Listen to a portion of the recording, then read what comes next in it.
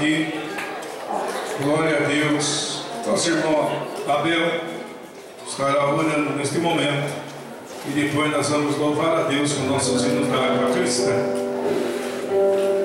Paz do Senhor para todos os irmãos. Oremos, bendito e bondoso Deus, Senhor da glória, em cuja presença estamos reunidos neste momento, nesta noite, santuário, para louvar e para adorar o teu nome santo. Deus querido, te agradecemos por esta oportunidade de mais uma vez estar na tua casa. Nós te louvamos pelo privilégio de poder te servir, Senhor amado. Deus querido, desfrutar das bênçãos celestiais, da bênção da salvação. Deus querido, continua abençoando o teu povo, continua abençoando a tua igreja, que nesta noite se reúne aqui para te louvar e para te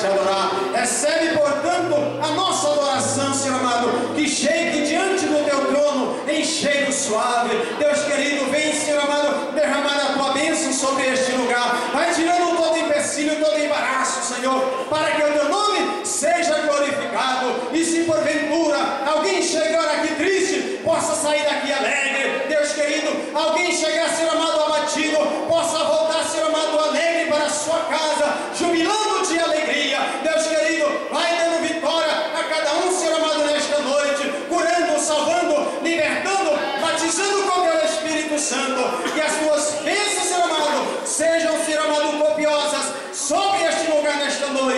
Assim oramos a Ti agradecidos, em nome de Jesus. Amém. Os irmãos podem sentar.